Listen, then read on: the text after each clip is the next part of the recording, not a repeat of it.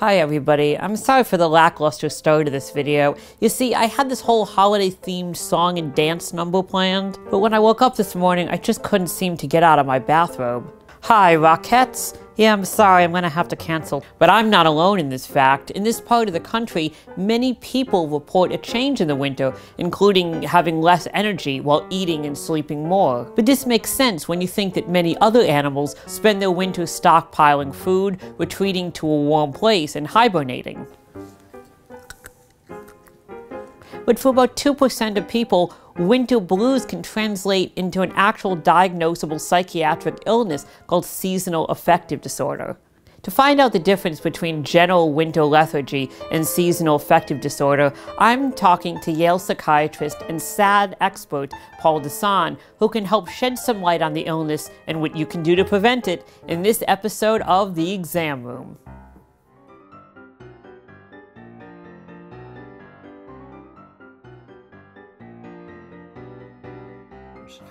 About 90% of people will tell us they feel less energy or their mood is worse or maybe they sleep a bit more or, or eat a bit more, gain a bit of weight during the winter.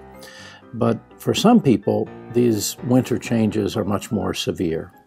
And about 2% of people every winter get severe enough changes that they'd qualify for major depression. We think it's the light dark cycle that triggers seasonal affective disorder. Many patients tell us their symptoms begin in September or October, get worse through the fall, and then improve through the spring. Seasonal affective disorder usually responds very well to treatment with bright light early in the morning. This is a medical grade 10,000 lux light box. Lux is a measure of brightness. 10,000 lux is like being outdoors in the middle of summer. So we recommend that people get 45 minutes or 60 minutes of exposure to 10,000 lux, putting a device like this on a counter or table in front of them and sitting at an appropriate distance so they get that intensity. When you're exposed to bright light, your body's clock says, the sun has come up, I better advance my biological rhythms, my timing for the dawn.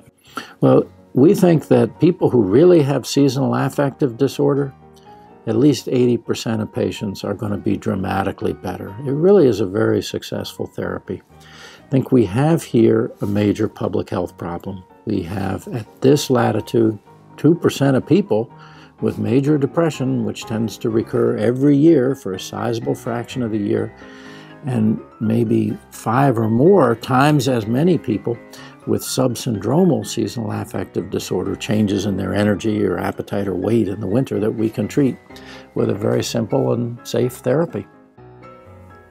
Have a happy holidays, and I'll see you next year in a new episode of The Exam Room.